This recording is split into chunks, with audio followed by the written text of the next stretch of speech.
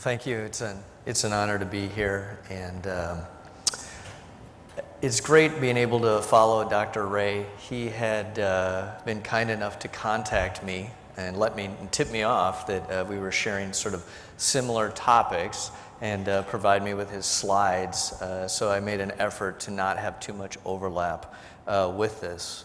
Uh, like Dr. Nelson, who started us off, I have a little bit of a cold uh, and I cough, so I decided to forego the tie today so I didn't have a big coughing jag as we were going here. All right.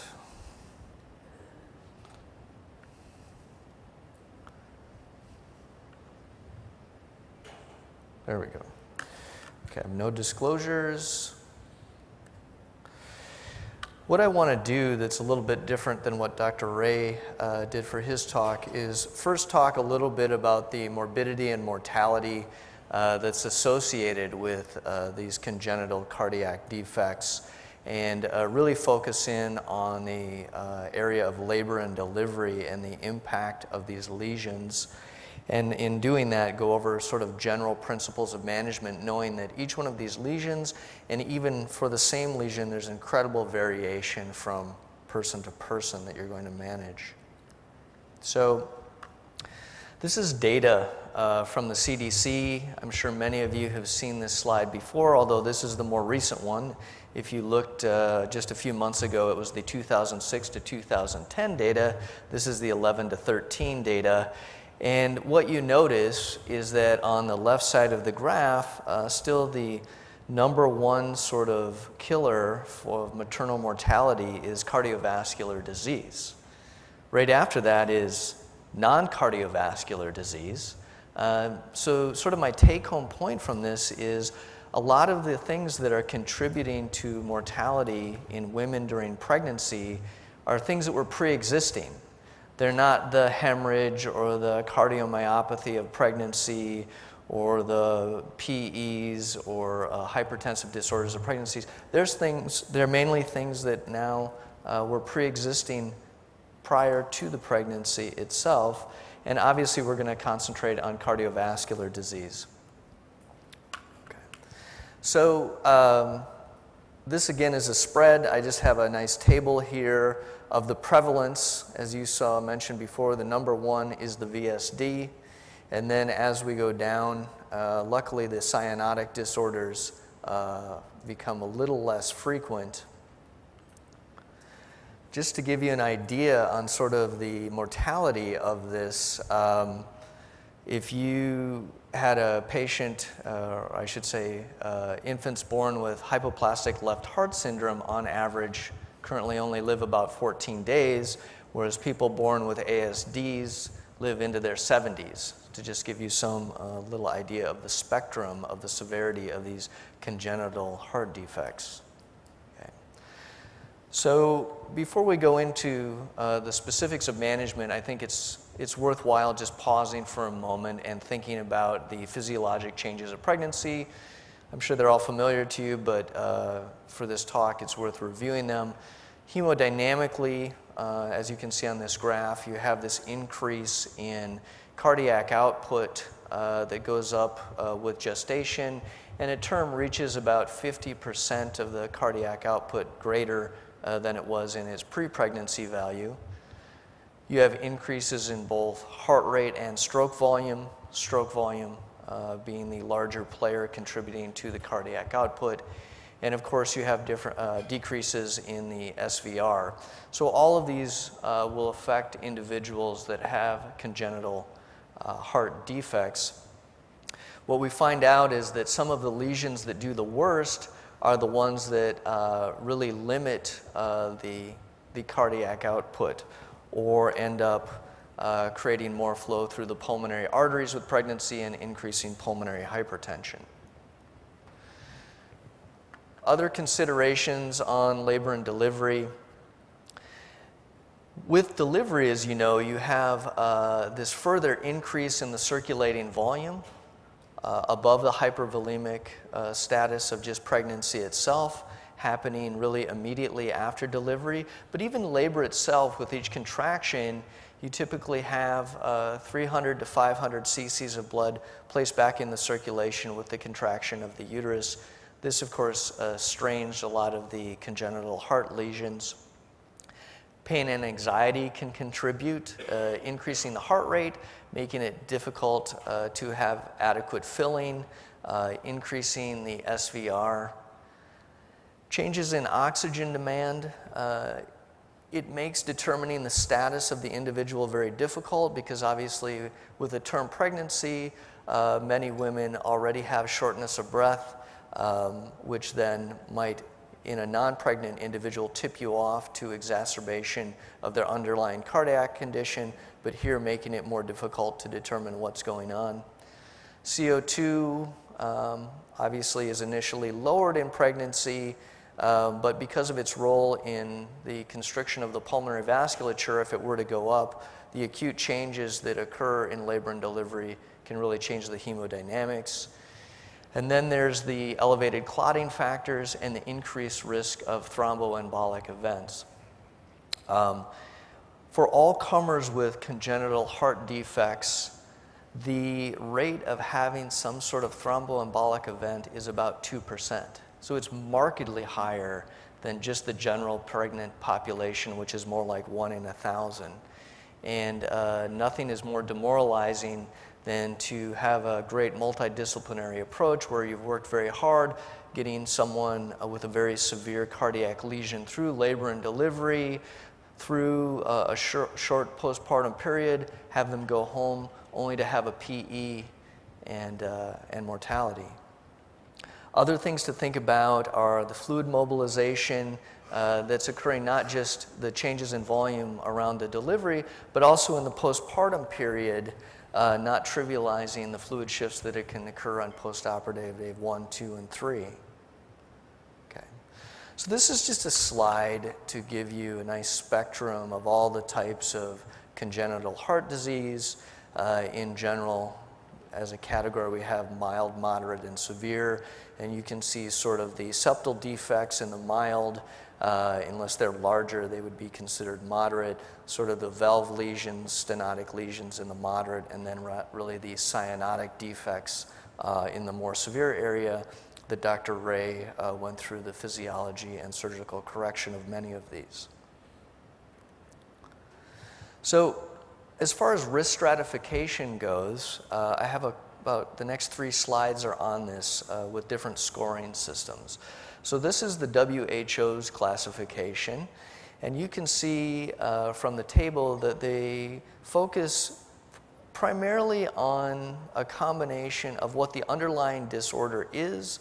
Uh, you can see VSDs, PDAs, repaired ASDs, Fontans, right ventricle supporting the systemic circulation, as well as the status. So, does the patient have arrhythmias? How severe is the ventricular dysfunction?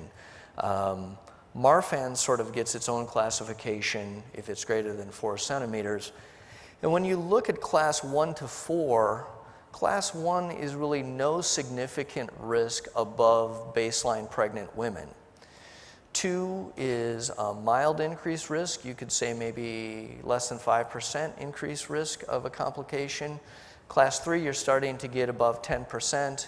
Class four is actually contraindications to pregnancy. Unfortunately, that can be very difficult to control as still in the US, over half of the pregnancies are unplanned. So although we would like to have counseling beforehand, and, and we do make that attempt, um, a lot of times you have lesions that you really wish the patient had not become pregnant with. Other scoring systems, this is the CARPREG scoring, uh, scoring system, uh, risk assessment.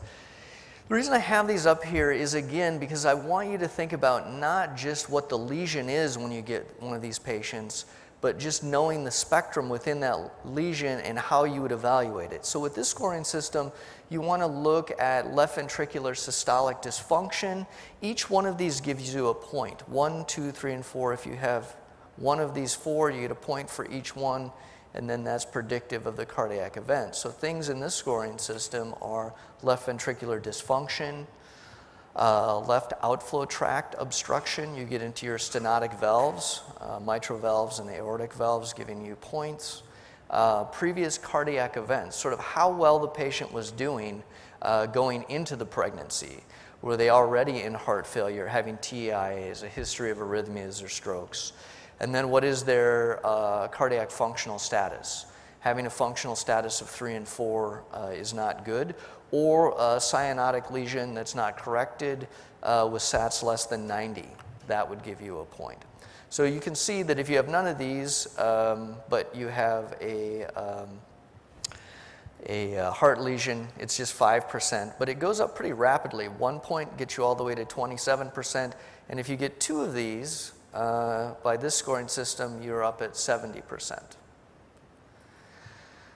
Now, there's another scoring system that came out later that takes into account not only sort of what your functional status is, your left uh, ventricular outflow tract, um, but also starts to look down at the bottom of did you need cardiac medication prior to the pregnancy for your heart defect? Um, cyanosis, heart, cyanotic heart disease gets its own point. Having uh, valve regurgitation gets you a little bit of points, but one of the biggest is the need, your underlying uh, anomaly requiring a mechanical heart valve gets you four points in itself, right? So you can see uh, cardiac events in the box and how they go up uh, with the point scoring system. Well, since then, 2014, uh, a group out of the Netherlands uh, took about uh, 200 pregnant women who had a known congenital heart disease, and they prospectively placed them on these two risk stratification scoring systems. And what you see, so you can see the CarPreg on the left in sort of an orange gold uh, and the ZAHARA in blue. And we see that for the more mild uh, status individuals where we would have predicted like 5% on the CarPreg or 2.9 on the ZAHARA, it's actually worse. So we were kind of under predicting uh, the people with the more mild disease. But the good news was that for the people with the more severe disease, where uh, they were having a, a, very high expected cardiovascular risk at 70, um, it was actually slightly better. We have 40 on one and 33 on the other. So maybe we're doing a little bit better with the most severe disease uh, than we originally thought. And this just is just a look by lesion. Um, you can see that the two number one complications that occur with uh, congenital heart defects are uh, arrhythmias and heart failure. You can see that the more moderate stenosis on the left, the ASDs, the VSDs, you have rates less than 5% for each one of these, but as soon as you start to get in the tetralogy of Fallot and the cyanotic lesions, you have uh, markedly increased rates of arrhythmia and then heart failure also. So these are the two things we're always worried about when we have pregnant women laboring uh, with these underlying cardiac defects. Dr. Ray already spoke about endocarditis and the new guidelines. Uh, definitely something that should be considered for every one of these patients. Pulmonary hypertension, depending on the defect. If you start to get increased flow through the pulmonary vasculature with the increasing cardiac output and volume status of pregnancy, uh, you can have a significantly worse cardiac condition of the individual. And you're going to see this theme of thromboembolic events uh, over and over just to always keep it on your mind. Okay. So I have a similar slide uh, to Dr. Ray's, but it was interesting. He has the multidisciplinary anesthesiologist slide, and I purposely left it at just one line. But when we take care of a lot of these severe defects, hypoplastic left hearts, Fontans, we do have a cardi- an adult cardiac a PD cardiac, an obstetric anesthesiologist, all involved in the care, obstetricians, labor nurses, uh, critical care teams, not just the critical care physician, but critical care nurses who are often caring for the individual after the delivery, um, a multitude of cardiologists, neonatologists. We like to involve CT surgery early on if we think it's a severe lesion that might need some sort of ECMO or uh, bypass considerations because they have their own surgical schedules and uh, that will come into planning also.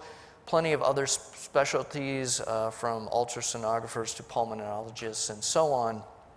And, uh, you know, the key to this is not just having a lot of meetings, but having meetings that are actually meaningful where there's good communication. And uh, that is often the problem I find where uh, just having a meeting doesn't really solve the problem.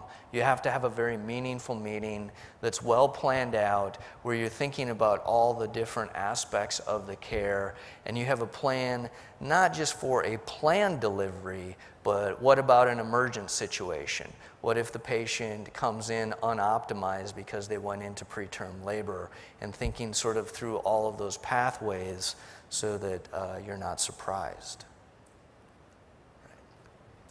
This is just sort of a blow up slide of that category four of the WHO. Uh, again, high risk uh, pregnancy, where if you had uh, some sort of way to meaningfully counsel a patient prior to getting pregnant, uh, these are underlying diagnoses where pregnancy really is somewhat contraindicated. Um, and with this, if the patient wanted to get pregnant, you could possibly go in and intervene. You could take care of stenotic valves. You could um, replace that dilated aortic root. Uh, you could have ablation therapy for those arrhythmias uh, so that they would have a much better chance at having a great outcome with pregnancy. But as I said before, many pregnancies are unplanned, so you just need to look at this slide to know when you should be incredibly concerned about a pregnant woman with these underlying disorders. Eisenmenger syndrome itself, at the top there, uh, in some studies has a 50% mortality rate with pregnancy, just to give you an idea of an extreme. Okay. So, what I wanted to do um, was choose a couple of defects uh, that Dr. Ray had not uh, already gone through and try to pick some that I think that you'll see uh, more in the community uh, as opposed to those of you at academic centers. So I thought I'd just start with an atrial septal defect, right? Pretty common. Uh, you saw that it's fairly common, not quite as common as a VSD, but uh, I think a lot of us think of them and we're like, oh, it's no big deal. Like a lot of people have these. Um, and this goes to my point that the same defect can have a huge spectrum, right? If this is um, surgically corrected and there's no defect uh, because they went in but put a clamshell in or something, then um, there is no difference in the risk of pregnancy.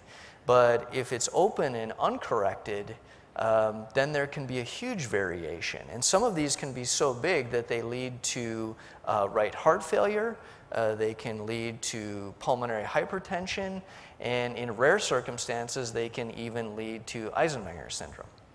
So, consequently, uh, one of my points of this is that if you have an ASD which hasn't been worked up and wasn't uh, repaired, you definitely want to uh, have echocardiography to determine uh, what's going on, right? You want to look at those PA pressures and uh, the size of the defect. Unfortunately, uh, some ASDs are very well tolerated until the fourth decade of life or until someone gets pregnant. They didn't even know they had the ASD, uh, but the demands of pregnancy uh, then sort of bring it to light. Some just general concepts with it. Uh, you obviously want to maintain uh, preload if you have a significant ASD. No bubbles in the venous lines. Um, Obviously, that's uh, regardless of whether you're in OB anesthesia or not, that would be something you would think of. But particular to OB anesthesia, I, I didn't put a, a, picture from the study here, but there was a 1995 study by uh, Jaffe that is quoted in Chestnut and in some of the review articles on caring for these patients where they took um, individuals and placed lumbar epidurals and then um, had them go to sleep. Um, for having surgery under general anesthesia with a lumbar epidural, put a uh, transesophageal echo down and injected five cc's of air into the epidural catheter, which was not intravenous. um, and they could immediately see microbubbles uh, in the circulation. So, uh, interestingly, in Chestnut and some of the review articles, and this is my practice, in individuals that have ASDs, uh, I don't do loss of resistance to my epidural with air. Okay? So, something else you might want to think about. Common complications you might see with the ASDs arrhythmias at the top, both supraventricular and ventricular arrhythmias. Rates of preeclampsia just by having an ASD that's unrepaired are about 3.5 uh, times relative risk of individuals that don't have ASDs who get pregnant. Small for gestational age infants, uh, that's about two times greater of having a small uh, baby. Fetal mortality for having an uncorrected ASD is a five times relative risk. Right? Don't really know the mechanism of that. Uh, maybe some sort of cyanotic component to it, um, but that's what it is. Luckily, paradoxical embolism with an uncorrected ASD of clinical significance is still less than 1%. Okay. So I thought I'd choose another example. Uh, tetralogy of Fallot, right? As pointed out earlier, the most common cyanotic disorder, uh, congenital heart disorder uh, we have. In the US, the vast, vast majority of these are corrected. To just kind of go through this again, uh, you can see there you have a VSD, you have pulmonic stenosis, you have sort of an overriding aorta, which is sort of positioned directly over uh, the VSD, and then you have ventricular uh, hypertrophy. Typically, the uh, VSD is uh, repaired uh, as well as the pulmonic stenosis, so you have separation of the chambers again. Again, one repaired tetralogy of Fallot can be completely different than another repaired tetralogy of Fallot. And I've seen this even on our own service where we'll have a string over a year of three or four repaired TETs and everything will go fine. And the reason it, eh, it went fine is because they don't have any residual pulmonary valve insufficiency. They don't have RV dilation and dysfunction.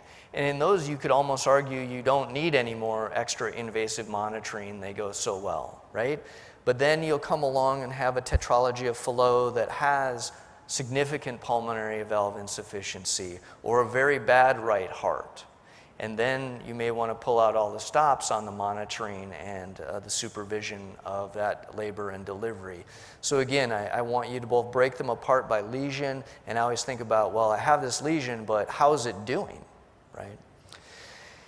If the patient doesn't have pulmonary hypertension, has a good right ventricle, uh, it's incredibly well tolerated in pregnancy if you have this corrected lesion. Um, but if those two things are not the case, uh, you definitely can have a decent chance of right sided heart failure. 20% of the patients uh, in that category can end up with some sort of left sided heart failure too. And arrhythmias are common, right? When do we see the arrhythmias? We see them most frequently in these diseases right after delivery. The idea is you have that big fluid shift, you stretch both the atrium and the ventricle a little bit, and it throws off the conducting system and that's when you get your arrhythmias. So, now I want to go back and just kind of generalize the approach, knowing that it's going to be different for every lesion and even different with each individual within each lesion. So it's like individualized multidisciplinary care. Ideally, you'd really like to get these uh, pregnant women uh, referred to high risk specialists as soon as possible. Um, that is echoed in the ASA guidelines, trying to get early and frequent consultation. Um, those of us in academia uh, have a huge luxury where I, I, have fellows, we have a high risk clinic. We actually have a clinic where we coordinate with cardiology and OB, and these patients get seen for like one stop shopping. They come in and they're seen by all the disciplines, echoes are done, uh, and, and, it's really amazing, and I think they get great care. I realize that is not, that luxury is not the case in the majority of places. But I think what you do want to have is some sort of system in place. Someone who, when the obstetrician gets a patient who has some sort of congenital heart defect, or we can even broaden it to some sort of significant uh, disease process, they have a point person to go to. It could be someone that they're going to call. It could be that a couple days a month on L&D you have sort of uh, a clinic that you run where they can refer them to. Uh, just some sort of uh, standard uh, that they can follow to uh, get them to bring the patients to you early on. Besides the multidisciplinary approach, you want early, early cardiac assessment, uh, echoes, often serial echoes for the disease severity and to see how it's progressing through the pregnancy, um, to know if the patient has arrhythmias, not just a snapshot single 12 lead EKG, but potentially wearing a single lead patch over time uh, so you can see if there's frequent arrhythmias going on uh, beyond what you're finding with your history. Maybe bringing them in early to optimize their volume status, or if they are having arrhythmias, putting them on something like beta, beta blockade, thinking about early thromboprophylaxis and how the fetus is tolerating the pregnancy. Intrapartum, even though it's one of the least common things, I put it first because if you don't think about it right away, it's the hardest to coordinate. And that again is your CT surgeons and some sort of extracorporeal uh, support for these individuals if needed. Um, talked about endocarditis prophylaxis earlier.